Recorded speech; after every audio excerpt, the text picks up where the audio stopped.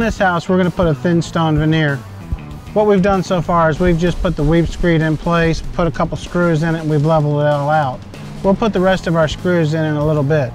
But I wanted to explain to you what the weep screed does. The weep screed allows any moisture that comes down the weather resistant barrier or through your drainage plane material a way to come to this triangular section, find its way into these holes, and drain out away from your, your facade or your veneer underneath here.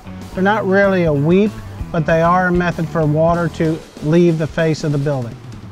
So what we're going to do is we're going to go ahead and put our screws in, then our weather resistant barrier is going to come down to this triangular section.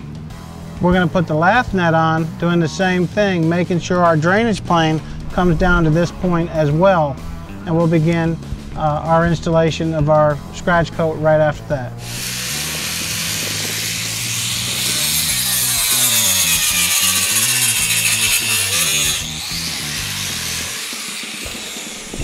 We've installed our first piece of LathNet on the weep screed. As you can see, we've attached it to where our drainage mesh sits on top of the triangle of the weep screed. Adjacent to that is our WRB, weather resistant barrier, that sits at the same location at the top of the triangle on the weep screed. Any moisture that comes down this wall is going to be able to be afforded the opportunity to go into these holes and drain out underneath and be able to exit the building. Our next piece will come and it'll lap over this and from here we will shingle all the way up the building with our products.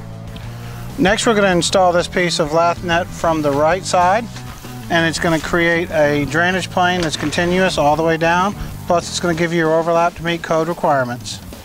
Next what we're going to do is we're going to install a piece directly on top of what we've already installed and you can see easily how it shingles as it goes all the way up and how the continuous drainage plane is maintained.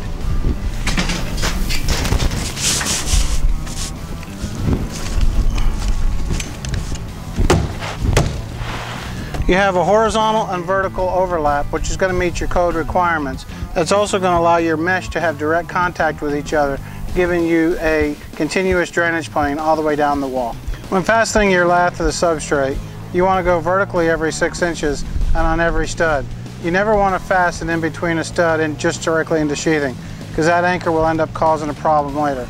Rodenhouse Incorporated has come up with a great tool to help you speed up your installation and make it faster and better.